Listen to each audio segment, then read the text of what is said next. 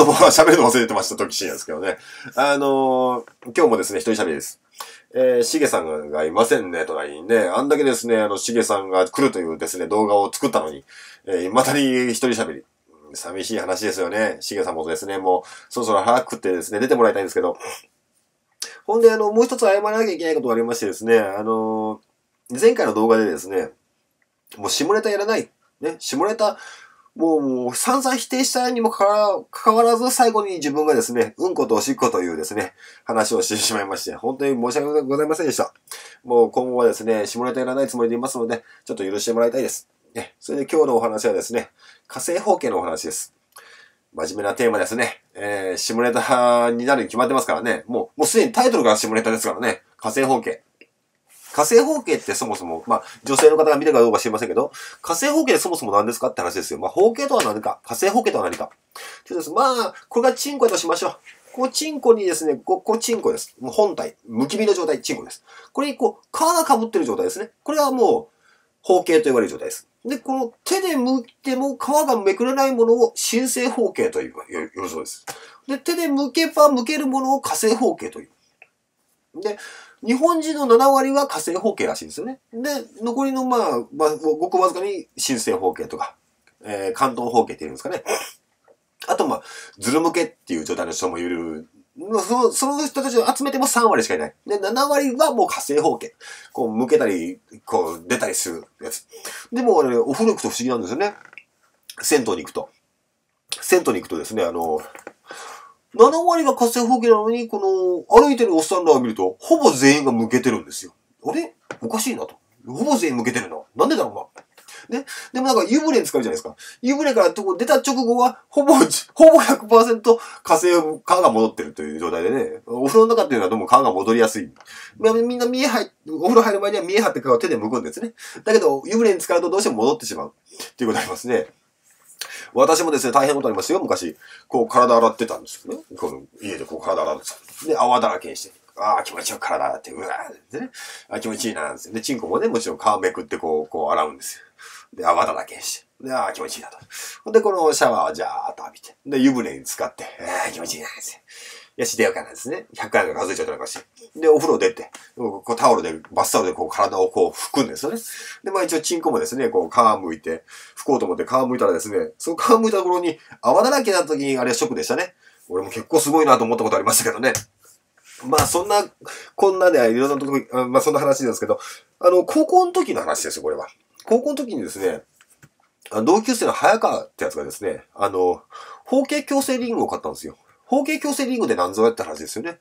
まあ、さっき言ったあの、火星方形の人に使うんですけど、こう、チンコがありますと。で、皮が被ってます。で皮をこう手で剥くんですよ。で、ここにリングをこう当てるんですよ。こう、こういう厚みのあるリングを。ね。こう、リングをこう被せます。そうすると皮がですね、戻ろうとしても、こう、リングがあるから皮が戻れない。で、そのことによって、まあ、まあ、癖をつけるんですかね。皮を剥ける。まあ、女性のあの、二山豚のアイ、アイプチチュですかね。あれと一緒ですよ。こうやってやって癖をつける。のり付けして癖をつける。ことによって二重まぶたになるのと一緒で、チンコもこのリングがあることによって、こう、皮が戻っても、リングがあるから皮が戻らない。そこで言って皮がこっちにいる癖をつけて、頭、皮が向けてる状態を作ろうというのが、まあその、方形矯正リングというのがあるんです。で、その方形矯正リングとパンツが一体型になったものもあるんですよ。よく英語の授業なんかで言いましたね。ビッグ。ビガー、ビガパンツってね、言いましたけど、そのビガパンツです。ビガパンツがそのパンツとリングが一体型になったもの。で、今、今日から話す、今日話するのは、え、リングだけ単独で出てるリングの話。このリングをですね、同級生の早川がですね、買ったんですよ、通販で。うん。早川のですね、包茎は半端ない包茎なんですよね。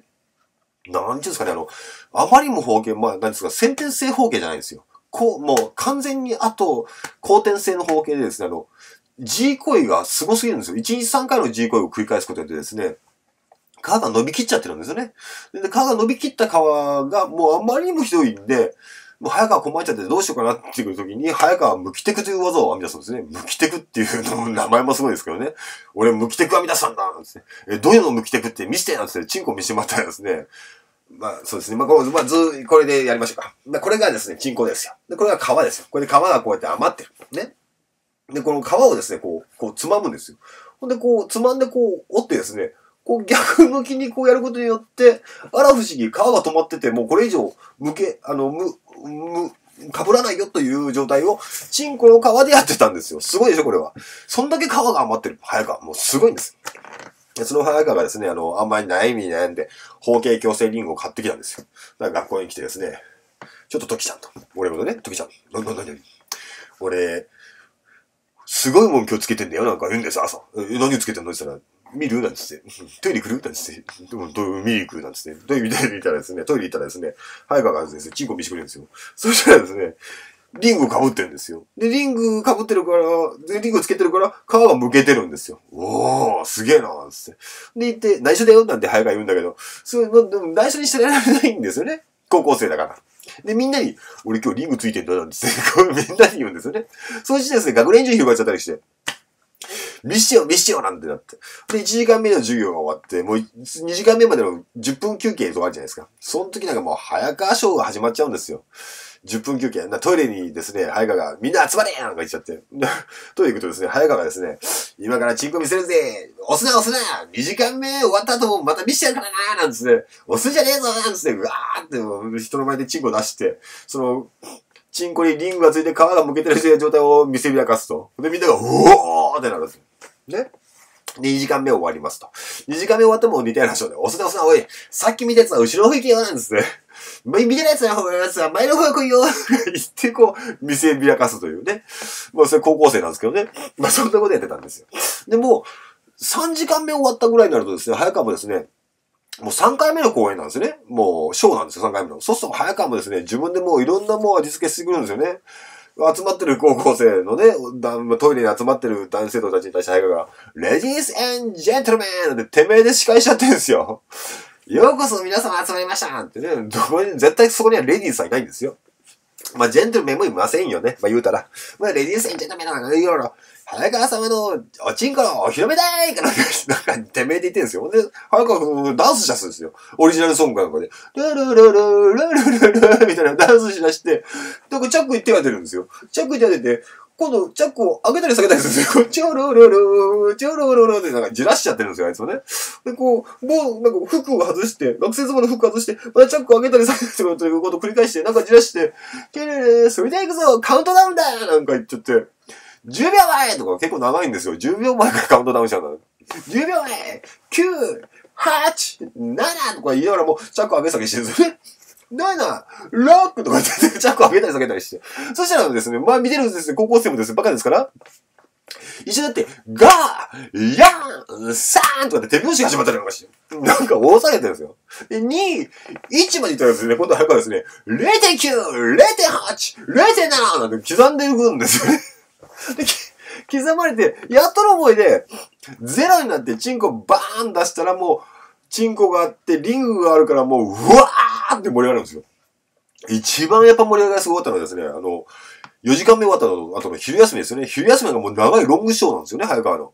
なんか、なんか、どこそうの通販で買ったとかなんとかっていう、前振りのなんか説明が司会、てめえの司会進行で始まって、またレディースエンジェントルメンが上がっちゃって、またチャック開いたり下げたりするカウントダウンが始まって、でデラーン出して、今度、チンコ出した後に、イエーイなんでチンコ振る、体、チンコさんないんだけど、体を震えて、チンコが震震えて、こんなに震えてるのに、リングが外れないぞ、みたいな自慢をこう、早川するんですよ。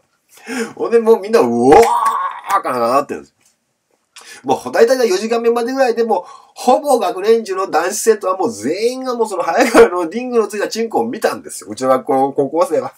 もうそれぐらいもう、もう、大盛り上がりしたんですよ。で、まあ5時間目終わって、まあ何事もなく終わって。まあ5時間目、もうそういう昼休みまでもほぼ全員見てますから、昼休みだけでもですね、4回公演ぐらいしてますからね。だから1日で合計ですね、6回か7回ぐらい公演してるんですよ。そのチンコ出し公演を。ほんで、まあ放課後になったんですよ。6時間目が終わって。で、放課後の時にですね、まあみんな集まった時に、まあ、今日帰りにさ、まあ、最後に、また早川のチンコを見ようかなかなんか言うんですよね。で、早川が、はみたいなこと言うんですよ。いや、だから、うんはじゃないよ。お前のその、リングのついたチンコ見せてくれよ。とか言ったら、早川が、ああ、リングついてたか、なんですね。自分までですね、リングつけてることを忘れてしまうぐらいの使用感なんですよね。とても違和感がないんでしょうね。あ、そんなに忘れちゃうぐらい使用、何、あれだろ？なんつって違和感ないのって言ったら、早川、うん、全然ないよ。全然、おつけてたね、そういうお前、なんつって。みんなら、ってことになって、早川がまた、また始まるんですよね。みんな、まあ、まあ、放課後のどこだ10人かなんかを前にして、まだトイレの中で、レディースエンジェントルメンってその日何回言ったかわからないぐらいのレディースエンジェントルメンが始まったんですよ。で、また19、8でも、チャックは壊れちゃうんじゃないかってぐらい、その日1日で、ものすごいチャックを上げ下げしてるんですよね。10、9、8、7かなんかね。で、また、ログ屋さんに1まで行くと、もうみんなしてるから、もうそこまで来ると、もうみんなもう、0.9、0.8なんて刻んでやってるんですよね。で、で、0かなんかなって。で、早川チンコダラーンと出したらですね、その日最後のチンコ出しですよ。ダラーンとチンコ出したら、チンコあるじゃないですか。で、リンゴあるじゃないですか。笑ったんですよね。こう、リンゴと皮が被ってたもんな。あれは笑ったな恐ろしい、恐ろしい皮だなと思ってね。ですからね、今回のですね、今日の話としてはですね、あまりにもすごい包茎の人はですね、あの、包茎矯正リングをも飲み込んでしまう可能性がありますので、包茎には効かないかもしれないよというお話でした。えー、包茎矯正リング使ってみた。今日のお話はこれで終わり